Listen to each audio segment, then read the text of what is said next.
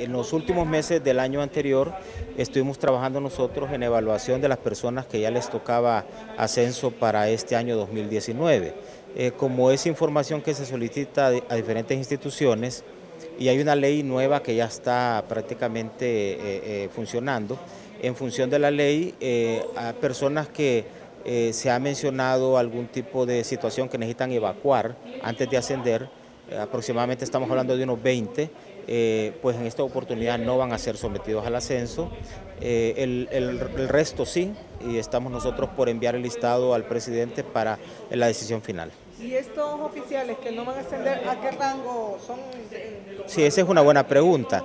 Bueno, están siendo sometidas personas que ya les tocaba el ascenso y más o menos andan en el rango de subcomisionados, hasta ahí por esa parte, porque a ese nivel es que ya tocaba a algunos de ellos por, por el tiempo ya eh, su ascenso. ¿Y por qué? ¿Qué pasa? ¿Se están siendo investigados? ¿Han encontrado algo irregular? Sí, es que vienen diferentes eh, señalamientos, hay temas de derechos humanos, hay situaciones de diferente tipo.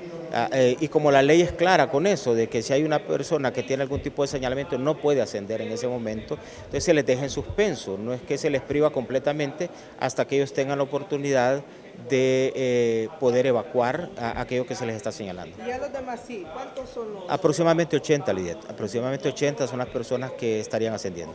Y esto que ha trascendido también que en este mes de enero van a haber requerimientos en contra de eh, comisionados, de la policía, incluso el actual director de la institución.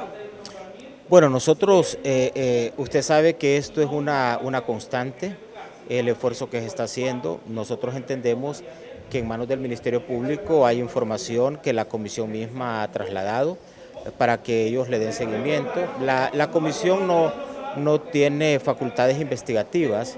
Ah, nosotros el, mando, el mandato que tenemos es que lo que hayamos encontrado ahí y que vincula a gente en supuestos ilícitos, la responsabilidad es entregarla al Ministerio Público y que de ahí se desprendan las investigaciones para profundizarlas, pero obviamente ellos tienen que tener toda la base suficiente probatoria para que esta gente que, que está siendo inculpada eh, una vez llegando ante los jueces, realmente se pueda proceder con ellos. ¿Pero han investigado ustedes al actual director de la policía?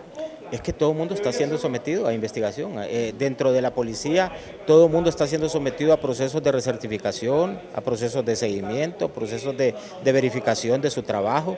Y por eso le digo, o sea, esto es una constante. Nadie debe sorprenderse que se tomen decisiones y a nadie le debe sorprender eh, situaciones que se den dentro de la policía, porque la policía como institución eh, está siendo sometida a esto. El ministro sigue, ¿verdad?